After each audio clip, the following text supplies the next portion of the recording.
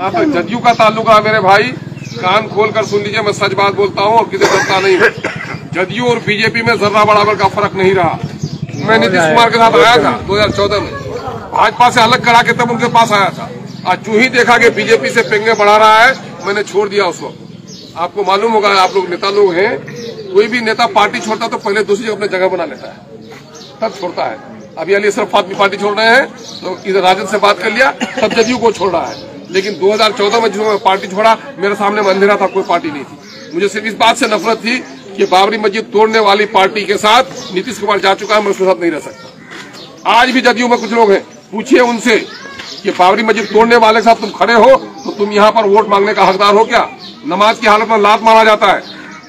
इस्लाम धर्म ये कहता है कि दूसरे धर्म का आदर करो, दूसरे के मंदिर का, दूसरे के गुरुद्वारे का आदर करो और अपने धर्म के आदर्शों का पालन करो। हिंदू धर्म भी कहता है कि दूसरे धर्म के साथ लड़ाई मत करो। ये धर्म के अज्ञानी लोग, धर्म का जिन लोगों ने राजनीतिकरण किया है, वो धर्म के नाम पर लोग लड़ाई लड़ा रहे हैं। कोई माई का बेटा हो तो उसके पैर में मालिश करूँगा। पच्चीस साल से एक्टिव पॉलिटिक्स में हूँ। हम लोगों ने हिंदू मुसलमान की राजनीति नहीं की। एम जो कुछ भी कर रहा है, वो सीमांचल की लड़ाई लड़ रहा है। सीमांचल एक कश्ती है, उसमें हिंदू, मुस्लिम सब सवार है। पार उतरेगा तो सब कोई, कश्ती डूबेगा तो सब कोई। मैं सबकी लड़ाई लड़ रहा हूँ। इसलिए भाई, और लोगों को आपने मौका दिया है, कांग्रेस को तो बार बार मौका दिया, एक बार हमको मौका दिया। एक बार हमको मौका दिया। मैं आपकी लड़ाई लड़ रहा हूँ, जदयू भाजपा में जा चुकी है, भाजपा को आप वोट नहीं देंगे, बाबरी मस्जिद तोड़ने वाली अगर भाजपा है तो कांग्रेस बाबरी मस्जिद को ताला खोलने वाली है। एक बार तो हमको मौका दीजिए, हम हिंदू मुस्लिम इतिहाद की भी लड़ाई लड़ते हैं, सीमांचल के हक की भी लड़ाई लड़ते हैं, मुसलमानों की आवाज़ कोई नहीं उठा रहा है। कांग्रेस पार्टी का स्टेट प्रेसिडेंट है अखिलेश सिंह। अभी राज्यसभा का मेंबर बनाया गया। आज से चार दिन पहले उसका बेटा लिखता है कि सीए का कानून लागू होना चाहिए। मोर साथ दो सबको हिंदू, मुस्लिम समाज से गिनती के बात नहीं हुई। मुखिया जी साहब पता पानू तो कनु के देखते रूप समाज से खुदी मोर ईमर तो साथ दे ईदा इलाकर विकास से लड़ाई लड़ी ईदा इलाकर बहुत अनदेखी बोली हिंदू, मुस्लिम समारोह शोषण में है तो टैक्सर पैसा ले ले। दिल्ली और पटना सजा दे सौ रुपये आप जो खून पसीने की कमाई कमाते हैं, अगर सरकार टैक्स हटा दे तो सौ रुपए की लूँगी पचास लोग।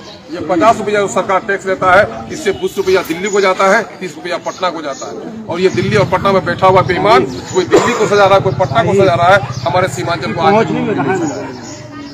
अगर सीमांचल में ज़्यादा, पटना में गंगा पर पाँच पाँच किलोमीटर पर पुल बन गया, और हमारे मानंदा पर पचास किलोमीटर पुल नहीं है। हमारे बच्चों को स्कूल नहीं है।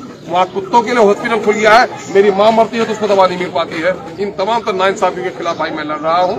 हिंदू मुस्लिम सब मिलकर के इसको पकड़ा क्या क्या इरादा है आप बुद्धू बाबू जिस पार्टी में गए थे वो छोड़िए। अगर कोई आदमी गाड़ी में बैठा के आपको ले जाए अजमेर शरीफ घुमाने के लिए और वहाँ बीच में जाकर के बोला कि अजमेर नहीं जाएँगे हम अब चले जाएँगे हम वहाँ हरिद्वार मंदिर में तो मंदिर वाला बैठ के रहेगा जो अजमेर जाने वाला तो उतर जाएगा।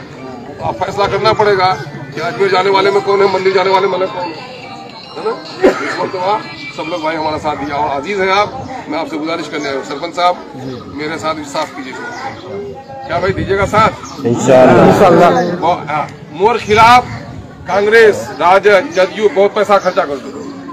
एक बोरो लोग बस्ती देकर एक रास्ता। सब गरीबेर बारातो उधर से निकलो मार नाशो तो वहाँ गालियों दिशे जूतो दिखा छे। फिर भी सलाम करे जाए बाबू साहब, वो सोचो कि माल लाश कुंदे निकलवे बेटी बारात कुंदे वो फिर वहाँ हाटे सौदवाने दो। एक गरीब, मजदूर बेटा, वो पाँच साल कमे कहले कि मैं बोलता, कुछ नहीं करूँ, घर उड़ नहीं बना पहले एक रास्ता बना वो एक रास्ता अलग से अपना सड़क से जोड़े दिले। आप उदे के जमा छोड़े दिले, आपने वो गाली दुआ पा ना, जूता दुआ पा। और बोलो कि इटा लड़का जब से पैदा हुई है बड़ा बदमाश गाँव लोग का बड़ा शरीफ रहे। दीनाबाद तो इनू दरबार जाहिल, ये अपना अलग रास्ता बने लिया। राजद जदयू कांग्रेस वही कर रहा है। कि अख्तर ईमान बहुत बदमाश है। इनके लोगों के गर्दन पर हाथ भी देते थे, फिर भी टिकट के लिए मेरे पास खड़ा रहता था। आज अख्तर ईमान टिकट बांट रहा है, इसको हराने का काम। नीतीश कुमार ने चारों आदमी को भागने के बाद भी मुझे यही कहा, सरपंच साहब, रमज़ान के दिन है। अख्तर साहब, अकेले रह के क्या कीजिएगा? आप पार्टी में आइए, राजद अच्छा लगे या जदयू? आप मंत्री बन जाइए। लेकिन अख्तर ईमान का अल्लाह का शुक्र है, मैं गरीब का बेटा हो सकता हूँ, लेकिन दिल का अमीर हूँ। मेरा कदम नहीं डगमगाया। मैं कहूँगा कि वज़ीर जो बना, अपने गाँव का भी काम नहीं कर सका, और मैं पार्टी बना हूँ तो नस्लों का काम करूँगा अगर पार्टी बना रहे